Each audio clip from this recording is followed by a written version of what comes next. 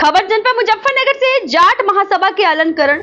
छात्र सम्मान समारोह में पहुँचे भकेऊ सुप्रीमो चौधरी। नरेश टिकैत और मीडिया सेंटर के अध्यक्ष व रॉयल बुलेटिन के संपादक अनिल रॉय ने समाज के मेधावी छात्र छात्राओं को प्रशंसा पत्र मेमोन्टो उपहार देकर सम्मानित किया। है इसके साथ ही छात्र छात्राओं को हर क्षेत्र में परचम लहराने की लिए प्रेरित किया और जाट समाज से शराब और दहेज जैसी कुर्तियों को खत्म करने की विशेष अपील की। प्राइम की न्यूज़ चैनल के लिए पवन अग्रवाल मुजफ्फर साहब आज जाट महासभा का कार्यक्रम किया जा रहा है प्रतिभा अलंकरण क्या कहना चाहते एक तो बिरादरी में जो अच्छी लड़कियाँ हैं लड़के हैं, जो पढ़ाई लिखाई में अच्छे नंबर तक पास हुए, उनके लिए एक उनका हौसला, अफजाई करने के लिए तो इस तरह के प्रोग्राम होते रहे अच्छा लगे बच्चों को भी इस तरह का वो दिखेगा तो हम सम्मानित करें एक बड़े, बहुत बड़े मंच पे। तो अच्छा लगे अच्छे प्रतिभाएँ हैं उन्हें।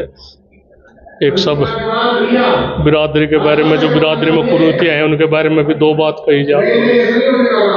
बिरादरी का अच्छा वो है अच्छा योगदान है देश हित में। तो कुछ ना कुछ एक उसमें अच्छा लगे, ऐसे उसमें बच्चों को सम्मानित करें, अपने जो हमारे सम्मानित है, जो बुज़ुर्ग है, जो बिरादरी के जिम्मेदार है तो वे सब इकट्ठे हो जाए तो बहुत बढ़िया रहे, ठीक है भी रतन मिला है।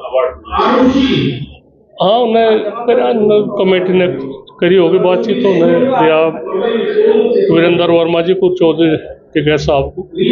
तो अच्छा लगा जी अध्यक्ष जी आज जाट कार्यक्रम किया जा रहा है क्या कहना चाहते हैं? आज जाट महासभा द्वारा मेधावी छात्र छात्राओं को सम्मानित करने का कार्यक्रम किया जाता है जिसमें जाट समाज के हज़ारों बच्चों को आज सम्मानित किया गया है और जाट समाज की उन प्रतिभाओं को सम्मानित किया गया है जो अपने गाँव देहात से निकलकर अलग अलग क्षेत्रों में उपलब्धियाँ हासिल कर रही है।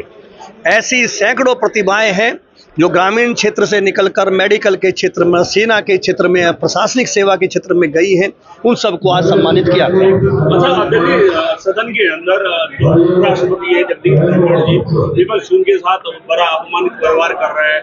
अब योग जा रहे हैं हटाने के लिए तो उसके लिए क्या?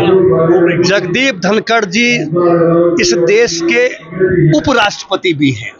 और राष्ट्रपति उपराष्ट्रपति ऐसे गरिमापूर्ण पद हैं जिसका सम्मान करना सभी का नैतिक दायित्व है। उनको किसी जाति के बंधन में बांधना उचित नहीं है। वो पूरे देश के उपराष्ट्रपति हैं।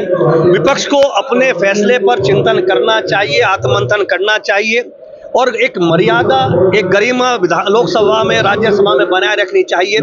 चूँकि देश की करोड़ों जनता ने उन्हें सांसद बनाया है, अपनी मूलभूत समस्याओं के किसान, गरीब, मजदूर की आवाज़ उठाने के लिए बनाया है। वो वहाँ अपमान की बात करते हैं। यहाँ जो भावना विपक्ष के लोग कुछ दिखा रहे हैं वो ठीक नहीं है। विपक्ष के लोगों को भी सार गर्भित रहना चाहिए और सत्ता का जो कुर्सी पर बैठे उनका समुचित सम्मान करना चाहिए। जाट समाज के युवाओं के लिए क्या मैसेज जाट समाज के युवाओं से सभी का अनुरोध है कि शराब और दहेज प्रथा जैसी कुरीतियों से बचें। शराब जिस जगह शराब आ जाएगी, उसका पतन निश्चित है। जाट समाज के बच्चों को बचना चाहिए, अपराध से बचना चाहिए, शराब से बचना चाहिए। बहुत सौभाग्य की बात है कि पहले के मुकाबले कमी आई है। आप देख रहे हैं हज़ारों बच्चे आज यहाँ शामिल हैं। जो ग्रामीण क्षेत्र के हैं छोटे छोटे जमींदार परिवार को हैं, जहाँ छोटी छोटी ज़मीन है, लेकिन वो बच्चे आज मेहनत करके अलग अलग क्षेत्रों में उपलब्धियाँ हासिल कर रहे हैं।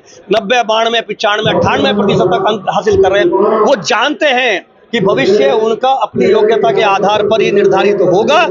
केवल अपराध और शराब जैसे दुर्कृतियों से बचने का आवश्यकता है।